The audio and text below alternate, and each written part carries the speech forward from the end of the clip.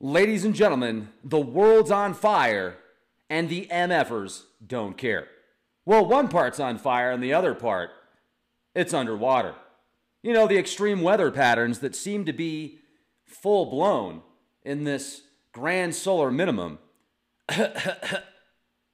Isn't it bizarre how extreme the weather has become over the past 20 years, especially over the past 15 years?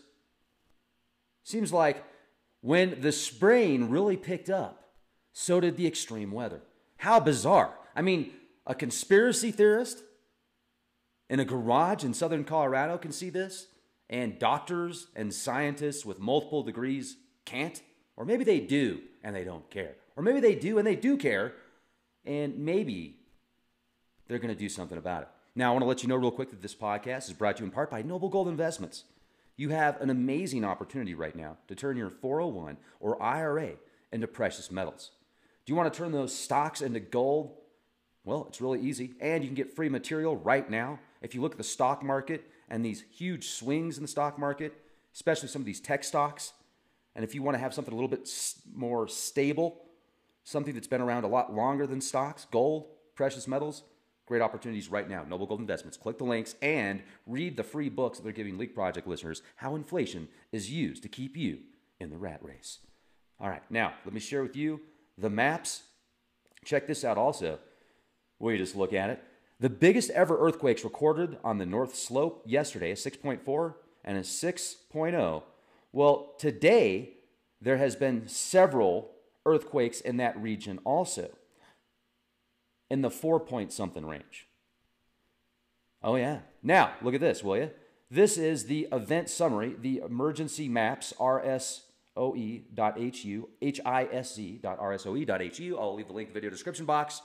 The world's on fire. California certainly is. And this is catastrophic, folks. They just lowered the actual damage level to great. So it's great, not catastrophic anymore. But say that to the people that have lost land and been sucking in that smoke out there. Nasty stuff indeed. I want to share with you just the most current emergencies. Just a few of them. Look at this extreme weather, India. Climate change, yeah. Geoengineering, terraforming, scorched earth, scorched earth, scorched earth, five of five. Global event, that's catastrophic level, catastrophic. Forest fires in California, the biggest in state history. Four of five, four of five. And then you've got tons of short term events also. Quakes in the northern slope.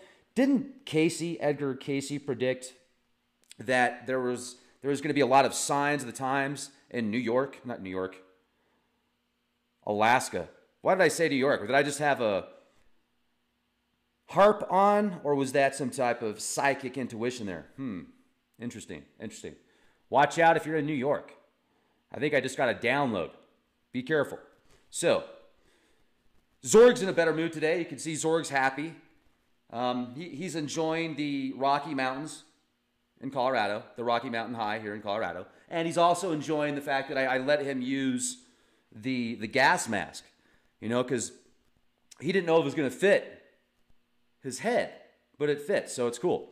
And, and also, I want to talk about the global events that are going on right now with this extreme weather. Whether you're underwater, whether it's flooding, it's like the East Coast is flooding like crazy and the West Coast is drying up like crazy. Now, combined with all the aluminum and barium and particulates that are being sprayed in the atmosphere to seed the clouds and whoever, whoever, who knows whatever else they're doing, nanny, nanny, nanny, nanny.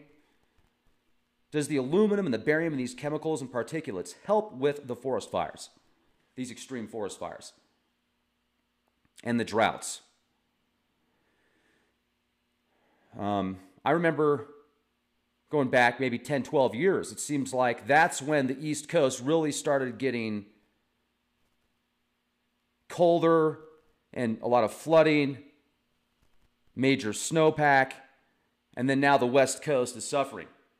It's as if the MFers are, I don't know, maybe helping orchestrate extreme weather to where then maybe they can get people out of those areas. I mean, hey, what do I know? Get people like Agenda 21 stuff, right? Get people out of certain areas so that they can then sell that land for pennies on the dollar. Somebody left a comment that, and I, I can't validate this comment, so I don't know how accurate it is, but somebody was saying that they are in an area in a ranch that got nailed with forest fires. They had to leave, and then FEMA came in and bought up a bunch of land for pennies on the dollar. But does FEMA buy land?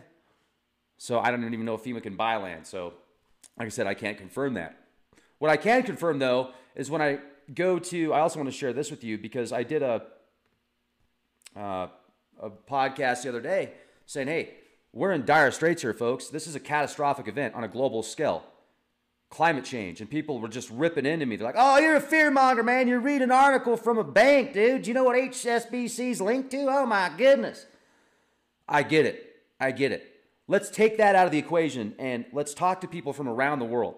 Let's look at the pictures that I've shared with you here in the Four Corners region, southern Colorado, Utah, New Mexico, of dying trees at alarming levels. People have been leaving their feedback from around the world Canada, BC, Washington.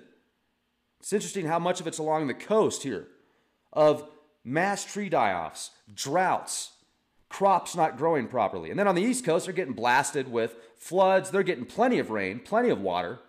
It's the total opposite on the East Coast. How bizarre that it wasn't like this 20 years ago as much. I mean, yeah, you had some extreme weather. Of course you did. You're always going to have extreme weather. But like this, and then you read the reports that come out about controlling the weather, controlling the skies. It's all connected. You control the weather, you can help control the stock market, you can control sporting events, you can control crop growth, you can control countries' growth based upon how much water they're getting or not getting or how much you know in colorado springs recently there was um, several animals and men that died because they got hit with these pieces of hail that were the size of softballs. Several people were injured a lot of property damage. Can you imagine if that's the norm? All of a sudden alert alert you've got softball sized pieces of hail of ice falling from the skies oh yeah going back 10 12 15 years approximately and there are these tornadoes going on, these crazy tornadoes. And combined with the tornadoes, there was this mold, and a bunch of people died. And it was in the Midwest somewhere. I don't was it, I don't know if I remember it was Oklahoma or where, but I was thinking to myself, my gut was telling me this is some type of. And once again, I'm a conspiracy theorist. This is all my opinion. It seemed to me like it could have been not natural. Let's just put it that way. Let's let's let's use the term as as uh, lightly as possible. It did not seem natural to me. I mean, my goodness, if you've got machines that can create tornadoes and hurricanes, why would you even need troops until after, until the cleanup? Then you're going to need construction workers more than more than troops.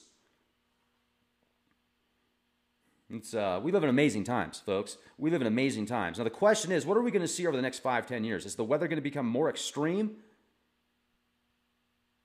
Is it going to continue on the um, on the western, you know, the west coast, four corners, droughts, less snowpack, more fires, etc. East coast continues to get pillaged and plummeted with rain and water.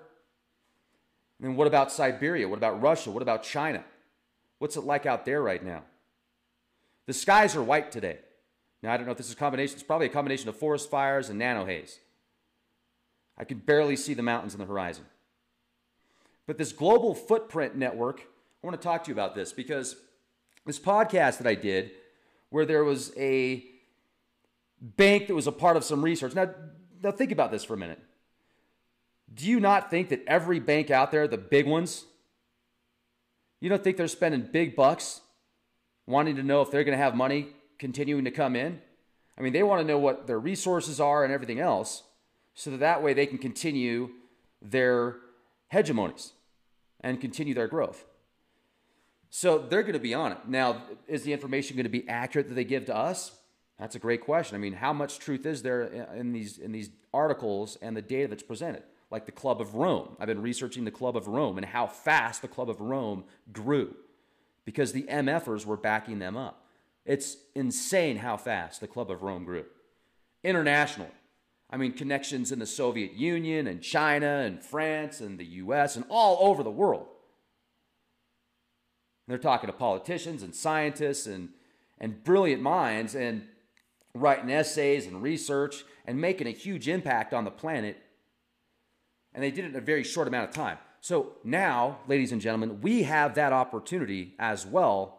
We maybe don't have the MFers to back us up, yet we've got our minds and our spirits and our spark of divinity within, which is far greater than any cash or empires of dirt. Neat thing about the web is we can speak our minds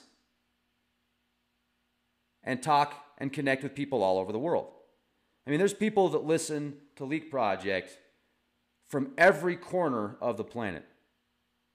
Because you know it's a pyramid, right? So, yeah, all right. Bad joke. Anyway, ack. Oh, yeah, somebody said that's not funny anymore. So I can't do the ack ack jokes anymore. They said I've been doing it too long and I got to stop. I'll do my best. It's hard. I mean, especially that's how I talk to Zorg. And that's how, you know, I mean, we can do it telepathically as well, but I'm just saying. So let me share with you real quick. This is the Global Footprint Network Advancing the Science of Sustainability, the country trends worldwide. And I want to show you the ecological footprint versus the biocapacity. Are you ready? Will you just look at it? The red, that's not good. That's how much is being taken from the planet and how much capacity, how much it's giving back. You know, how much the uh, the recycling efforts and all that. Do you need this research to tell you that the planet is being pillaged at an alarming rate? Deforestation. Look at the growth in the countries. Growth is good. Yes, growth is good. How about healthy growth? How about maybe some space travel opportunities? Some wormhole tech? Greg Allison's going to be on the show later today. We're going to talk about the TRAPPIST 1 system, where they found seven Earth sized planets, four of those in the habitable zone. And also, we're going to talk about the FRBs, the fast radio bursts from 3 billion years ago that were sent from another galaxy that require about 5 million suns of energy to get here. Plus, with all the twisting and interference, it still made it here. We've been picking up multiple signals again and again, these FRBs, these fast radio bursts. Type 2 civilization, imagine a Type 2 civilization 3 billion years ago. Where are they going to be at now? I mean, whoa. Especially if you can go from a Type 2 to a Type 3 civilization in a matter of maybe minutes. The singularity. Where are we going to be in 200 years? If we can make it through the insanity, if we can make it through the firewalls, we could be Type 3 in 200 years. Think about that. We think it, we are it. Creating universes in our minds with a single synapse. Oh, yeah. Very incredible to think about, really exciting. Or, or are we going to be 1984 Orwellian meets Hellraiser, pinhead style, throwing the hooks out at you? Remember that part in Hellraiser 1?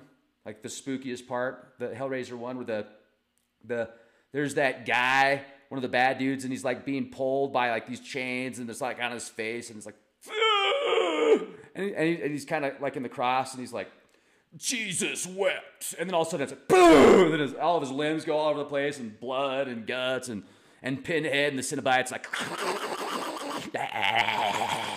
It's kind of like that, right? Do we want that scenario, or do we want happy, exciting opportunities where we can change the ozone with our mind. We can create planets with our mind. Why not create entire solar systems with the mind?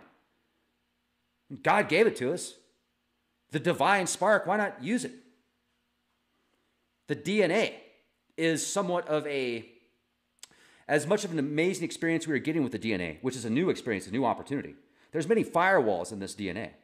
So I think that once geneticists learn how to unlock certain firewalls. Combined with the technologies, we could use it all harmoniously together, and it's beyond Terminator style. They have liquid metal right now that is programmable, liquid metal programmable that you can you can melt and it'll come back together over and over and over and over again with the same integrity or virtually the same integrity that it had before it was melted and then brought back together. That's Terminator 2 right now. But it's going to be beyond that because frequencies, such as Tesla talked about, you study frequencies for a couple hundred years, you're going to know more about everything than was previously recorded with science or lack thereof. You just think it, frequency, create it. And that's one thing that I was I was really focusing on yesterday. Very deep thoughts about how yeah, people are great. We can we can invent things, we can make things, we create with our mind. Even when we think something, there's something created, which is great. So you understand, just by thinking something, you are creating some type of life. Yeah. Just by just the thought alone is creating a life form, a thought, which could manifest into physical opportunities and probably will in some form somewhere. Yet, what I don't know, and if anybody does, that's a part of Godhood. How? How are we creating something with our mind by thinking it? How are we being animated? Okay, yes, Zorg, he's awesome. He's just chilling there though. Um, well, an example my coffee cup. Coffee cup right here.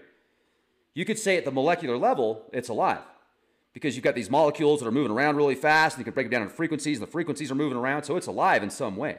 I mean, there's, there's tons of life inside of this, but it's not animated. It's just, it's sitting there. I'm seeing it, my perception of it is just sitting there.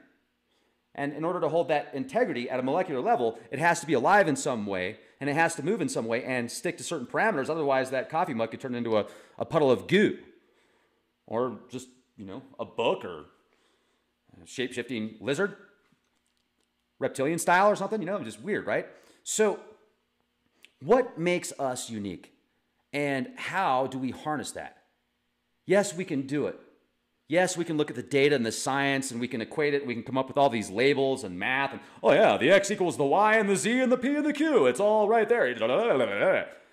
But what does that mean? I mean, how? That's the beauty of divine providence.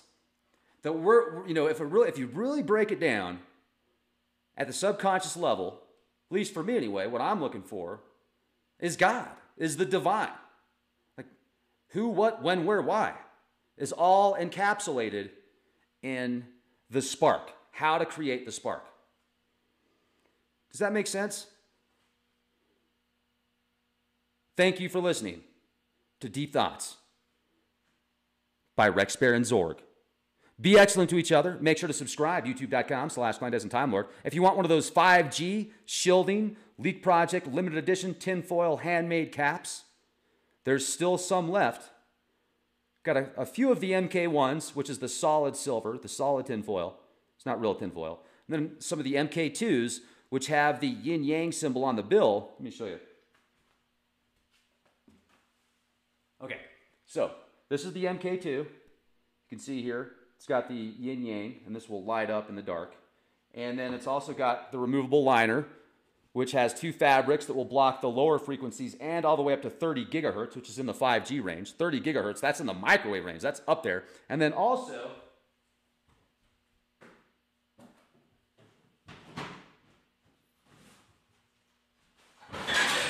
uh-oh. Okay, wait, no, that's this one. This one's not for sale. This was the original prototype from Julian. You can see here, this is the original. All right. You know, it's interesting because right now I'm listening to a song called Darkness. And this is by Daniel Deluxe, Darkness. And one of my favorite movies growing up was Legend with Tom Cruise. You know, he, fights the devil and brings the unicorn back to life.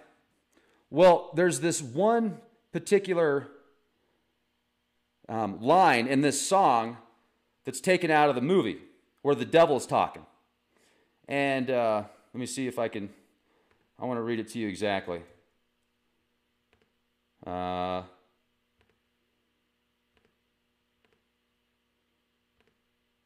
all right, well, Anyway, it hasn't came on yet. It just it takes a minute. But he says those humans, they're such fragile creatures.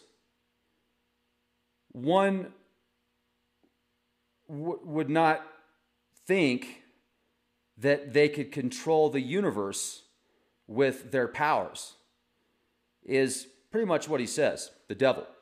And then he says to his sorcerers, his disciples, he says, Find them and destroy them. Just makes me think of how great and unique we are. And no wonder if there was a being or a race out there that manipulated our DNA. Okay, here we go. Looking upon these frail creatures, one would not think that they could contain such power. One could rule the universe with it. You must find them for me and destroy them. That's the quote out of the movie Legend by the devil, by Satan. And I think it's the perfect, just like the way that he's depicted is he's like my favorite devil character. But then you can get into the whole question of is the interpretation of the devil and Satan that most of us have even accurate? And how, how solid is that data? Who's the real devil? Who's the real Satan? Is Satan just a term for adversary? And then I think of Satan and Saturn, and Saturn being an adversary to the sun. And is Saturn, was Saturn at one point a sun? And this is all just stuff that goes through my mind. So it doesn't mean good or bad, it just means the opposite of the spectrum, which you need both to confirm the other side's existence. And this is also brought up in the film Legend, talking about how you must have the darkness to to show the light. So, what are your thoughts, ladies and gentlemen? Be excellent to each other. Oh, yeah.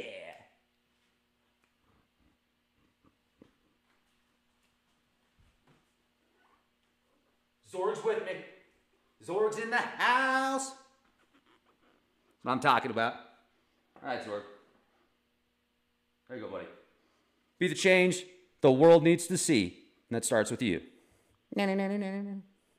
Act, act, act.